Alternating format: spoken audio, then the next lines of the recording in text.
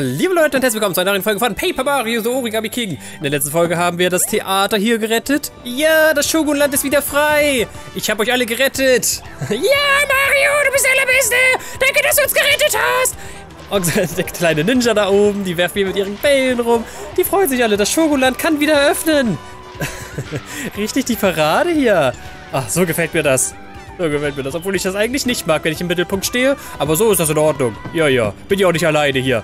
Bobby ist da und äh, die andere Tante ist auch da. Tantchen. Ich habe den Namen von der vergessen. Olli und Olivia, genau. Aber jetzt fängst du nicht an zu weinen, Bobby, oder? Äh, Onkel M, Tantchen. Hm, was gibt's denn, Bobby? Musst du mal wieder auf stille Örtchen? Äh, ich erinnere mich. Aber was? Yay, Bobby hat sein Gedächtnis wiedergefunden. Das ist ja toll. Wir haben das Schokolad gerettet, die blaue Luftschlange gelöst und wir haben es echt krachen lassen. Ja, Stichwort krachen lassen. So ging es mir bei- mit dem Feuerwerk und plötzlich waren alle Erinnerungen wieder da. Ich weiß wieder, wer ich bin und ich weiß wieder, wo ich herkomme, aber... Naja, aber die neuen Erinnerungen von uns zusammen sind die besten. Onkel M, Olivia, danke, dass ihr euch um mich gekümmert habt. Ich werde euch niemals vergessen. Ganz großes Ehrenwort. Ich wünsche euch viel Erfolg auf eurer Reise. Äh, was redest du denn da, Bobby? Mann, du glaubst doch echt wirklich, dass wir getrennte Wege gehen müssen, nur weil du deine Erinnerung zurück hast. Wir müssen doch noch die anderen Luftschlangenösen, meinen Bruder, aufhalten und den Pilzpalast retten. Und du gehörst doch zu unserem Team. Also hör auf damit, mit diesen großen Abschiedsreden. Und komm mit aufs Boot.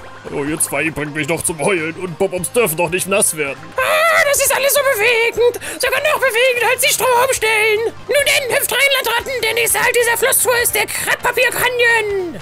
Danke, Mario. Viel Glück. Komm bald wieder.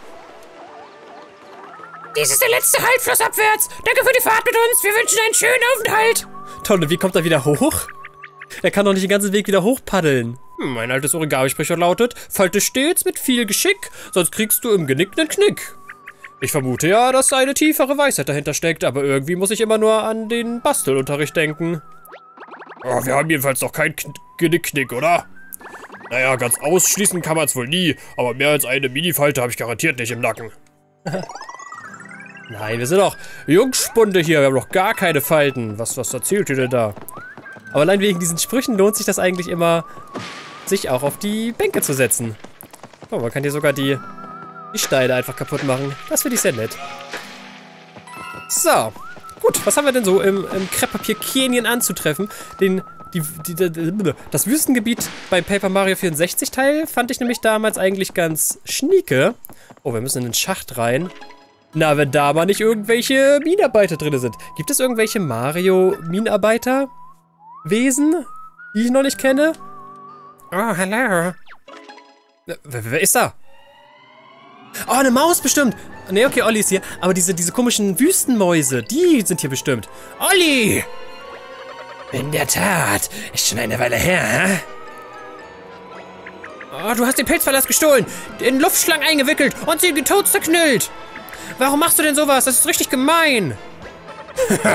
Schwesterherz, du siehst alles immer so zweidimensional. Ich füge diesem flachen, einfältigen Land nur eine neue Dimension hinzu. Du bist doch selbst Origami. Wie kannst du die Genialität meines Plans nicht verstehen? Ich erschaffe ein Origami-Königreich. Eine Welt für Origami? Aber gefaltete Origami und glattes Papier können doch friedlich zusammenleben. Du musst zu diesen netten Papierleuten gar nicht so gemein sein. Das ist einfach nicht richtig. Du musst damit sofort aufhören. Ich dachte, dass du vielleicht vernünftig sein würdest, aber wie ich sehe, war das ein Irrtum. Seit du dich mit diesem Mario zusammengetan hast, warst du ein Eselohr in meinem genialen Plan. Aber jetzt ist Schluss! Nein, Olivia! Rip. Ich glaube, die ist tot. Ja, hundertprozentig tot. Lach wie ne Flunder. Ob die jetzt auch 2D ist, das wäre witzig. Wenn die jetzt nicht mehr Origami wäre. Wie kannst du es wagen, Olli, deine eigene Schwester? Jetzt wird der Origami-Thron neben mir leer bleiben. Aber sei's drum, in Kürze wird sich hier mein Origami-Königreich erheben, also leg dich einfach etwas hin und erwarte den großen Moment. Nein, Olivia! Oh, dieser Fels bewegt sich kein Stück. Es muss doch irgendwas geben, was wir tun können. Tantchen, Tantchen, geht es dir gut darunter? Ich meine, Bobby... Oh, sie lebt noch. Bobby ist doch eine Bombe. Kann er nicht einfach einmal Kapu machen und dann alles cool? Oh, es geht hier einigermaßen, aber so plattgedrückt zu werden, kann für Origami nicht gut sein. Wenn wir nicht bald etwas unternehmen, wird sie noch permanent geknickt werden. Nein, das wollen wir ja nicht. Was machen wir denn jetzt, oh Bobby? Was können wir tun? Was können wir tun? Was können wir tun? Ja. Es geht nicht anders. Ich weiß, wie wir Olivia retten können, Onkel M. Wir müssen es einfach.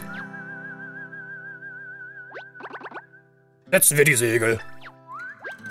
Wir müssen zum Hafen von Towtown und von dort aus Richtung weiter Ozean in See stechen. Okay, dann halt nach Tautan. Bobby, wenn du das sagst und dich nicht explodieren lassen willst, dann gehen wir nach Tautan. Ich meine, du bist zwar eigentlich ein Bonbon und das ist dein täglich Brot, dass du dich explodieren lässt, aber von mir aus lassen wir Olivia hier zurück und vergessen die ganze Sache. Wie auch immer du willst. Wenn der Typ noch da ist. Aber wie, kommt, wie kommt er denn jetzt überhaupt zurück? Ich weiß das immer noch nicht. Achso, ja klar, im, Sch im Shogunland. Dann fahren wir doch da schnell hin. Nein, er paddelt sich echt zurück. Was ist er denn für ein Superheld? Aber den ganzen Weg wieder hoch, den ganzen Berg vor allem wieder hoch. Krasser Typ. Aber geschützt hat er schon. Mit denen lege ich mich nicht an, wenn er hier so krass paddeln kann. So, okay. Dann ab nach Towtown. Okay, Bobby, da wären wir in Towtown und beim Hafen. Was ist jetzt der Plan? Was dein genialer Plan? Stimmt, wir haben den Typen ja gerettet, ne? Hier den... Ja. Nee, das ist aber... Ist er das? Doch, das ist er.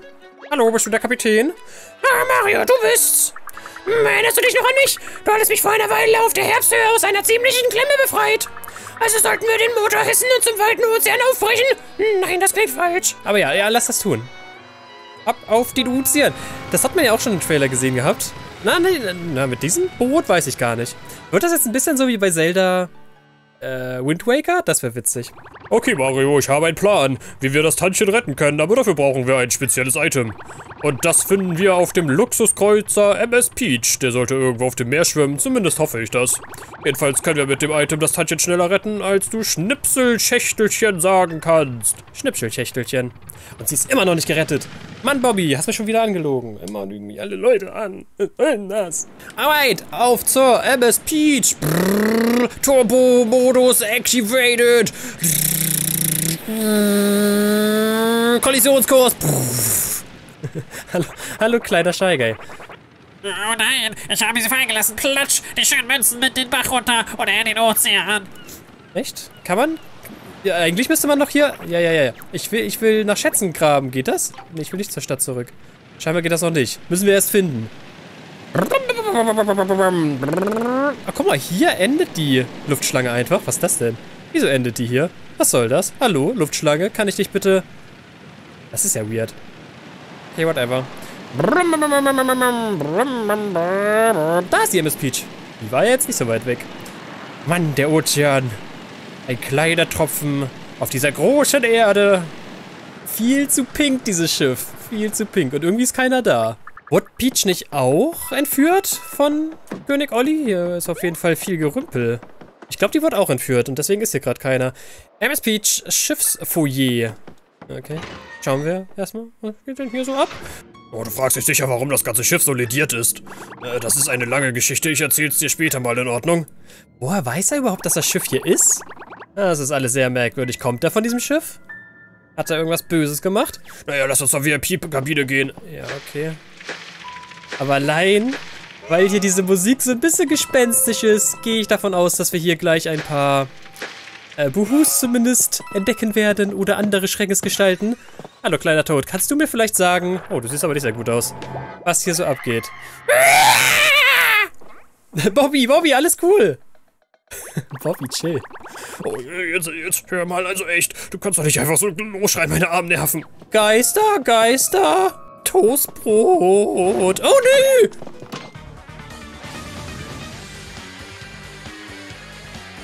Die Musik, ey. In jedem neuen Gebiet neue Musik. Das ist so geil. Die Musik gefällt mir aber. Das sieht sehr einfach aus. Ist es aber nicht. Okay, doch nicht so einfach. Hm, hm, hm, doch sehr einfach. Wir bringen einfach die darüber und dann ist doch alles easy peasy lemon squeezy. Habt ihr normalen Stiefel lang? Ich vermute nicht. Aber man kann es ja mal trying. Doch lang. Easy. Ja, easy. Hä, ich bin einfach viel zu stark. Die mit der Maske auf, die haben mehr Leben als die ohne. Also, die haben alle eine Maske auf, aber die mit diesem Schnorchel vorne, die haben mehr Leben als die ohne Schnorchel.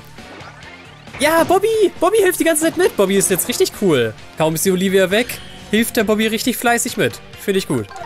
So, jetzt langt sie aber mal. Ich glaube, der hintere überlebt leider. Aber wenn Bobby mithilft... Nee, beide tot. Alles, alles easy. Ob wir auch irgendwann nochmal unsere normalen Hämmer und äh, Schuhe verbessern können? Das wäre auch nochmal ganz schnieke. Und die sich hier einfach versteckt, ey. Ich fasse es nicht. Und das ist doch hundertprozentig eine Trophäe zum Mitnehmen, oder nicht? Sieht auf jeden Fall so aus. Oh, die MS Peach. Da werden viele Erinnerungen wach. Es war immer so lustig auf diesem Schiff. Sonnenschein, Salz in der Brise, unendlicher Horizont und meine besten Freunde. Ich bin doch jetzt dein bester Freund. Und Olivia, hast du Olivia schon vergessen? Wir haben sie einfach zurückgelassen. Aber das ist doch hundertprozentig was zum Mitnehmen. Aber anscheinend erst später, von mir aus. Bobby, wollen wir erst nach oben oder wollen wir erst links weiter? Komm, wir gucken erst links weiter. Hallöchen. Kannst du reden? Nicht so wie der andere Tod? Das ist voller Wucht gegen das Schiffsfenster geschlagen. Was Großes. Es war so furchtbar. Stimmt, ein Oktopus. Irgendwas Böses. Oh, Schon wieder? Nein, ich will nicht kämpfen. Ich habe keine Lust zu kämpfen. Lass mich doch in Ruhe. So, langt aber mal, ne? Diese Kämpfe dauern viel zu lang. Komm, Bobby. Bobby, greif an. Ja, Bobby. Oh, geil. Okay. Dann kann er wenigstens nicht, nichts mehr rufen. Boah, guck mal, wie viel Geld man noch einfach bekommt. 1000 Münzen für einen so einen Kampf. Heftig. Aber nervig sind die schon, diese Shy Guys. Also wirklich.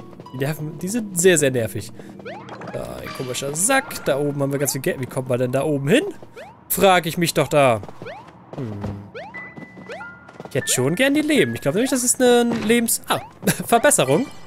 Nee, heilt einfach nur. Schade. Schokolade. Aber sonst ist hier nix. Okay. Dann müssen wir wohl oder übel doch den Aufzug benutzen. Ich kann mir vorstellen, dass er nicht funktioniert. Das wäre ja zu einfach. Äh, oder da ist irgendein Monster drin. Der, der Aufzug ist kaputt. Was soll, das soll ja wohl ein Witz sein. Mist. Scheint ganz so, als sei auf dem ganzen Schiff der Strom ausgefallen. War doch klar, dass das nichts wird. Naja, hätte man sich eigentlich gleich denken können, so finster wie es in diesem unbeleuchteten Raum ist. Hm, in welchem Teil des Schiffs wird wohl Strom erzeugt? Irgendeine Idee, Onkel M? Ja, unten eigentlich, ne? Ich weiß jetzt nicht genau, wie der Raum heißt. So, was geht denn jetzt hier ab? Warum, wo ist, wo ist hier und so? Wo ist hier Strom und so? Auf jeden Fall haben wir noch eine Schatzkiste. KP Max plus 20 gleich. Wieder ein Fünftel einfach mehr. Oha. Und damit können wir jetzt garantiert auch, weil wir stärker geworden sind, oh, neue Gegner, äh, diese komischen, Alter, diese komischen, ah, Shy töten. Jo, was geht da bei dir ab? Kann man dich auch einfach so töten? Nee. Feuerwerfende Wurf-Koopas? What the fuck? Anordnung ist auf jeden Fall wieder super easy. Die haben aber wahrscheinlich relativ viele Leben. Und jetzt mal Butter bei die Fische. Warum habt ihr dieses Schiff gekapert? Okay, die hatten überhaupt gar nichts zu sagen. Die waren einfach da oben und dachten sich, oh ja, die Mario, die kann man ja mal an... Die kann man ja mal angreifen. Aber so richtig bringen tut mir das jetzt hier nicht. Oh, das klingt anders. Das klingt sehr hohl. Ja, hä? What now? Da unten sehe ich einen Speicherpunkt, aber... Okay, hier oben ist einfach gar nichts? Alright. Hä, wie, wie weird? Was, was soll ich jetzt machen? Oder waren die Feuerdudes einfach dafür verantwortlich, dass der Aufzug nicht geht? Ne, wir müssen den Strom wieder einschalten. Und den Strom gibt es im Ladedeck. Ja, unten, ganz normal. Ah, man kommt hier aus der, aus der, aus der, aus dem Fenster raus. Kuheingang. Unbefugt ist der Zutritt verboten. So, da geht's nach unten.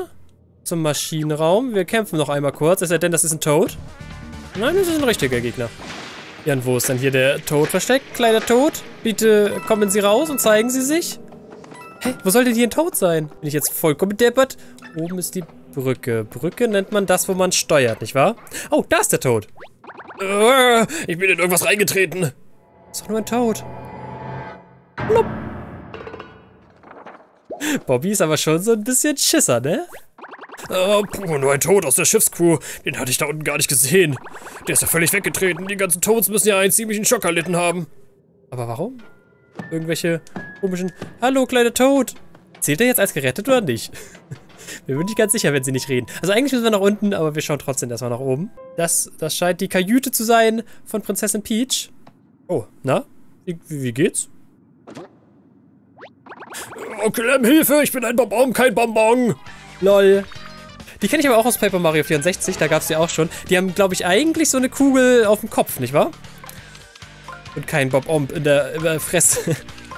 so kenne ich die zumindest. Oder mit so einem Streitkolben in der Hand, kenne ich die auch noch. Let's see. Ich kann mir vorstellen, dass sie über 30 Leben haben.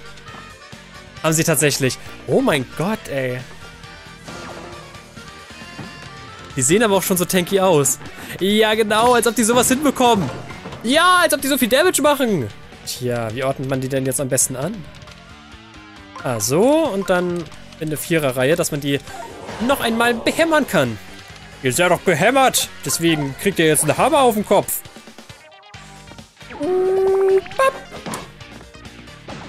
Bobby, warum bringst du immer nur, immer nur Ärger mit dir mit? So, wenn da jetzt keine Krone drin ist. Ein Stern, okay.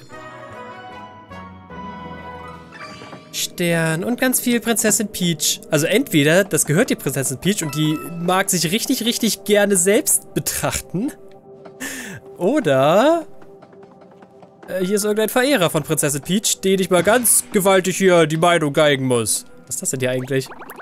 Oh, ob man mit diesen ganzen Apparaten hier das Schiff am Laufen hält. Die sehen ja schon ohne Strom kompliziert aus. Ja, und deswegen machen wir jetzt Strom an. Doch nicht Strom an, aber es, wir kriegen eine Kurve aus einem Break This If Something Happened Teil.